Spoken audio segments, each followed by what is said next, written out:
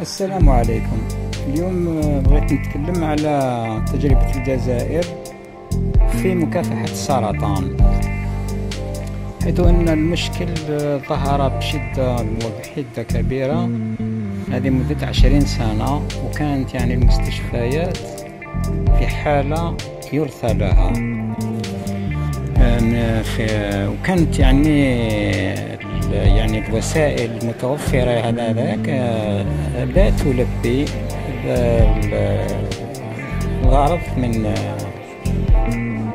منها في مكافحة هذه المرض السرطانية. فتقرر آنذاك بناء أكثر من 14 مستشفى مخصص في صناعة مخصص في مكافحة السرطان. هو ce qu'on appelle les CAC يعني c'est c'est centre anti-cancer أو بالاحرى centre de lutte contre le cancer وهذه المراكز كانت مجهزة يعني بدأت الإنجاز فيها. وكانت ويعني تم تجهيزها بأحدث الوسائل في في ميدان مكافحة السرطان. وتم فعلا تم إنجاز حوالي 18 مستشفيات في كل أنحاء الوطن. ومنها واحدة اثنين ولا ثلاثة بقات مغلوقة إلى يومنا هذا لا نعرف لماذا. وآخرها هذا المستشفى اللي إحنا في صدد الكلام عليه وهو مستشفى مكافحة السرطان بولاية الخاص بولاية زوزو والموجود في بلدية دراع الميزان أو دراع بن خدة. بالتأكيد بدراع بن خدة. وحبيت نأكد على واحد الجانب مهم جدا في هذا الحرب على السرطان وعلى يعني في المستشفيات بصفة عامة والحرب يعني في ميدان الاستشفائي هذا. هو الجانب الشبه الطبي.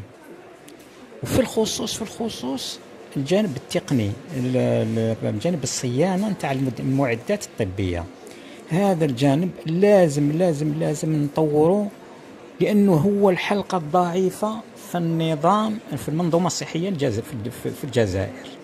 هو قضية الصيانة نتاع الأجهزة الطبية وخاصة في هذه المراكز الاستشفائية هذه نتاع مكافحة السرطان. فيها أجهزة أجهزة طبية آخر طراز آخر ما وصله العلم. وهي أجهزة يعني تكلف باهظة يعني تكاليف باهظة.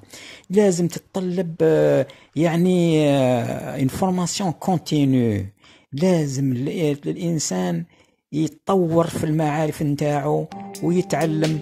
ولازم يعني كل ال personnel الشبه الطبي هذايا لازم يتفورما تكون فيها une formation continue في ال domaine نتاع الصيانة نتاع المعتاد الطبي.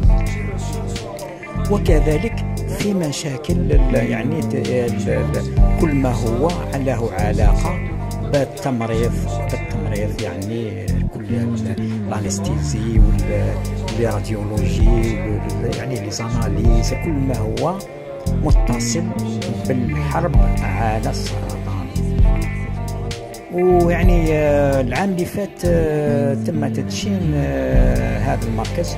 وهذا العام ثاني تدشينا مؤخرا مركز بالاغواط وإن شاء الله كل مناطق الجزائر يكون فيها مراكز وتكون مراكز يعني viables مراكز تمشي fonctionner تمد نتائج مش غير برك حط ال matériel ويشبحوا l'hôpital وكذا والعلامات وهذه والناحية العملية حدث ولا حرج. إن شاء الله المسؤولين يفهموا. ولازم لازم لازم لازم الضرب بيد من حديد. من يمس بهذا المراكز الاستشفاء لأنها مراكز مهمة جدا بالنسبة